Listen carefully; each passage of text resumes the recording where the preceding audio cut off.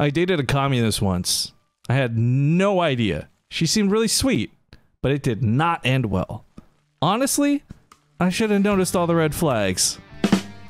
Welcome back to another Alpha Star cast. This time around, we got Alpha Star playing as Zerg.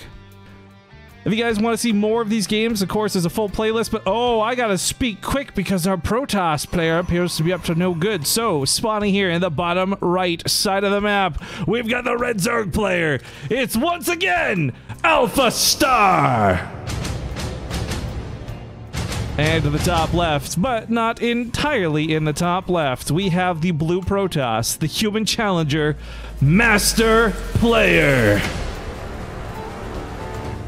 Now, of course, this is from some time ago on the ladder, but not too long ago because it's actually on Kairos Junction, so we know it was a semi-recent-ish game. I'm casting this out November 7th. I cast a couple of these out. They'll go up on YouTube in I don't know what order, but I do know that we've been keeping a full playlist and detailed chronicle adventures. If you want to see all the Alpha Star casts, regardless of order, be sure to check them out on that playlist, which, again, if I'm smart, I'll be linking up here, but I might be terrible and don't. We'll find out how good at YouTube I am. But it's, oh my god, it's cannons. Wait, it's Gateway first, followed by cannons. This is one of those games that comes once in a blue moon, lest you're watching Classic at BlizzCon or Printf every day on the ladder. This is a cool way to do it, by the way. We're not going to see this purely be cannons, as many of you know the cannon rush strategy to be, but this will likely be shield batteries following it up, with cannons just kind of setting the groundwork to protect, harass, and ideally at least shut down a hatchery.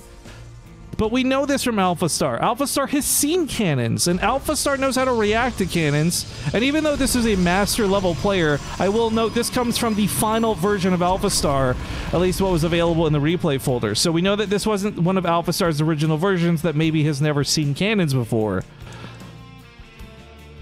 Zealot gets in here too. That's going to be super annoying. Drones split left and drones go up, trying to take a third base somewhere, but realizing, oh, that's not an option either. The cannons, of course, are mostly canceled. One does finish, and this will help zone out some units.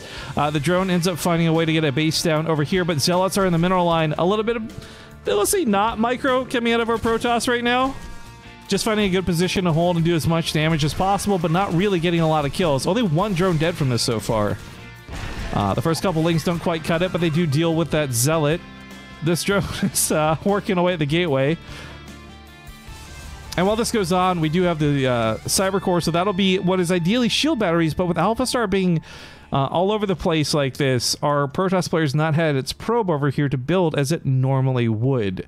And the thing is, while Alpha Star may get extra hatcheries up, or is at least trying to, they're going to be disconnected from the main. Reinforcements will not be consolidated. And in a perfect world, shield batteries and cannons will just cut off these two bases and allow our human to focus on one or the other. Uh, back on the other side of the map, though, Robo starts up. Normally we see that go on proxy as well, but a little perhaps worried that the cannon attack wasn't that good, ends up trying to play back at home. So our human's taking a Nexus, and the Robo is built defensively, not offensively. But still, cannons and zealots, I mean, it doesn't take much of either with a shield battery backing it up. I love this position, by the way. The Zealot can sit between the two and help keep the Zerglings from getting us around. Alpha Star can't really move out of this too easily, and off of creep, a Zealot can 1v1 a Queen, actually. So this is a pretty tough spot for Alpha Star to be in. Building just Zerglings and no drones, it's just going to be a huge break on the cannons, and then likely an immediate counterattack, or the the Alpha Star try and circumvent this entirely, as this is only one cannon. This could be totally ignored, and Alpha Star could just run across the map with Zergling speed, which is now done. Zealot comes to the high ground, but that's not a spot that Zealot really wants to be.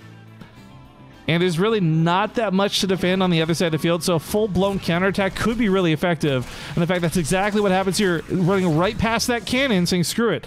Wanted to spend time on the Zealot, but stops wasting time and immediately runs over. But there's an Immortal out, there's a Stalker out. Holding this wall should be doable. And in a worst-case scenario, maybe an extra pylon here to wall this in. But I mean, that barrier on the Immortal's going to keep it alive for a bit of time. The Immortal itself, it, it, it, just has a lot of health and shields. It does appear like it's going to get sacrificed, which is unfortunate as it's being walled out of the base. But by walling it out of the base, secures that none of these things will get in. So falling back to this little nook is not going to be enough. Oh, wait, maybe, maybe, maybe. Shield battery timing. Oh my god, the shield battery is insane.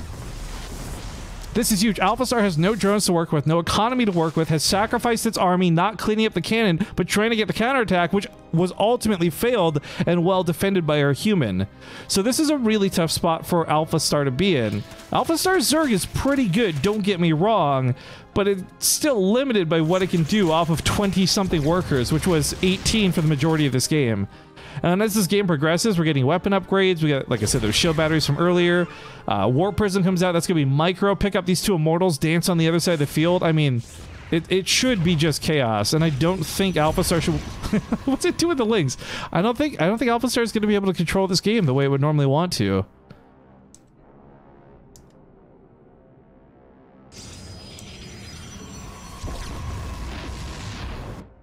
Our human has done a very successful job disrupting this. With the smallest investment in it, too. This one cannon, one shield battery combo, you, you see Alpha Star really just doesn't know how to react to this. And again, I go back to the fact that this wasn't one of the initial versions or the supervised versions of Alpha Star. This replay came from the final version pack.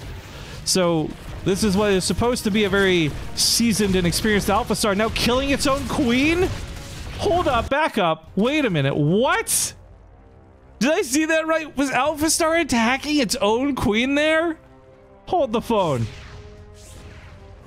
All right. The Immortals come in. We saw that before. Pounding away on top of the Lings. All right, and then... Because I, I was like, yeah, I didn't see the Immortals attack this queen. the Lings almost kill it. What a misclick. One HP. Alpha Star barely stops that. But now the queen with no health gets sniped off by the Immortals, and there's nothing to push off that Warp Prism.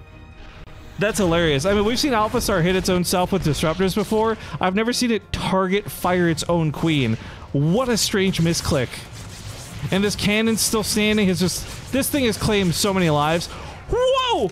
What? This cannon has 28 kills on it. what a crazy, worthwhile investment this thing was this game. Holy crap. Maybe, okay, hear me out, guys. Maybe Alpha Star, you know, has learned of paganism and it was going to do a blood sacrifice of the queen in order to gain power to defeat the Protoss. I mean, it's only crazy, but it might just be so crazy it works. But no, seriously, that was weird and a strange misclick for sure. Uh, the two Immortals are proven to be a big problem with no Queens and no anti-air, no way to push off that Warp Prism. That cannon continues to harass everything that leaves the base. Ravagers, Roaches, Queens. This shield battery keeps it up nice and healthy. Oh my god. 31. How many kills does this cannon have? Look, here, pause, pause, pause. YouTube. I want you guys to right now in the comment section. Oh, that's a cool, that's a cool way for the Ravager to pause. I want you to guess how many kills this cannon has by the, either the time it's killed or by the time the game's over. I want you to write a number. I don't care about anything else. Just write a number, what you think this number is going to be by the time this game is over or by the time the cannon dies.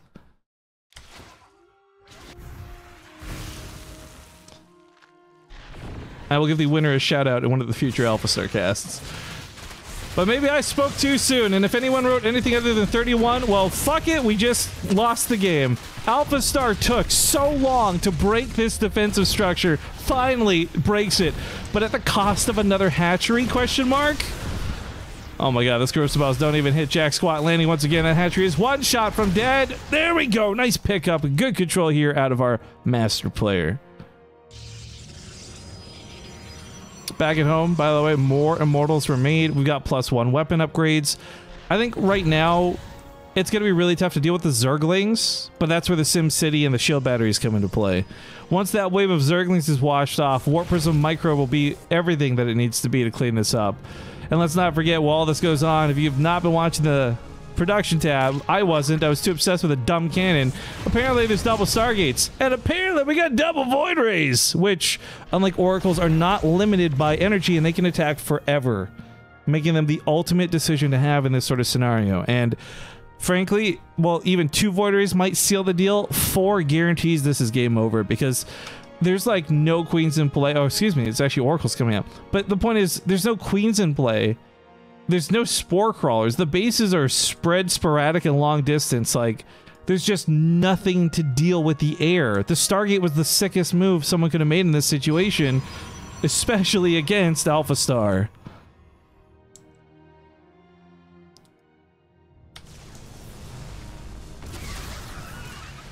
I don't know where this corrosive balls are going.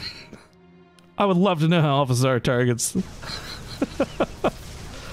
but uh, let's uh, let's keep a keen eye here on Alpha Star. What's what's Alpha Star looking at towards the end of this game? And I say this predicting the end with these air units, not because I actually know.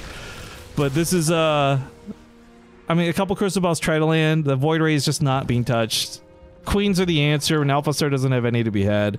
There's no creep spread between these bases, so connecting to them to respond is almost impossible. Unless our human player just leaves the Void Ray on hold position and eats a Corrosive Bile, there's there's no removing it. Oh, Prismatic Alignment!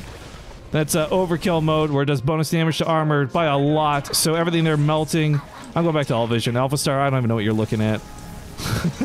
this game is... uh 25 drones, 36 army supply. It's like one last ditch fight. It, oh my god, Alpha Star doesn't even know what it wants to do with the Lings! Runs in, runs out, runs in, runs out, does no damage whatsoever, gets absolutely uh, massacred, and Alpha Star just taps out. So congratulations to the human player taking victory in this game. Hope you guys like watching these Alpha Star videos. There's a lot to go through, and I plan to do plenty more, so make sure you guys subscribe to the channel, ring that little bell, that way I don't miss you on the next one.